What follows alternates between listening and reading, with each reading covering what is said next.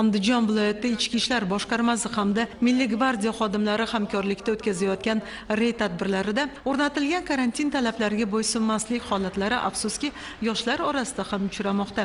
Soha xodimlari tomonidan o'tkazilgan navbatdagi o'rganish ishlari davomida mototransport va velosipedlarda bemaqsad yurgan fuqarolarga nisbatan qonuniy choralar ko'rildi. Harakatlanish vositalari jarima maydoniga olib qo'yildi. Aka u bozorda xodim edi. Anavi idoraga pomidor ko'chatni bolalar ekadi deb iltimos qiluvdiydi aka kim bo'lasiz?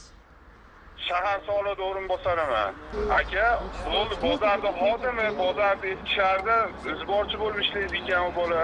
Bo'ldi aka shu qaytib ketadi bo'ldi. Nimaga ruxsatnomasi yo'q qo'lida bo'lmasa? Nima bu bolalar to'xtatsa qochib ketyapti bo'lmasa yo'q ruxsatnomasi bormi qo'lida bozordan bozorda ishlaydi degan qo'lida ruxsatnomasi bormi? O'ziniki emas yo'q ruxsatnoma o'ziniki emas ekan.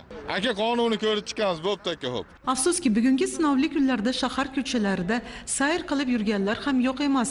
Ularning orasida voyaga yetmaganlarning borligi albatta achinarli Buyoqda hamma yuribsiz mana. qopga chiqdi aka aka o'chiring iltimos Karantin qilaman qoidalarini nima buzyapsiz mana? Xabaringiz bu uzr aka qopga chiqdi Qancha jarima solishidan xabaringiz bormi? bor aka Qancha jarima solinadi? eshitdi aka o'chiring kamerasi nazorat tadbirlari davomida karantin qoidalarini buzgan fuqarolarga nisbatan ma'muriy bayonnomalar rasmiylashtirildi va qonun doirasida choralar ko'rildi